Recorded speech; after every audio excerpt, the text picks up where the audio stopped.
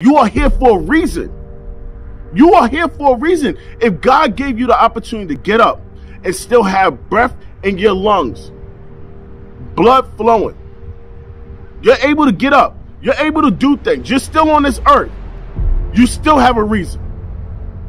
God still has a reason for you to be here, but you're lacking.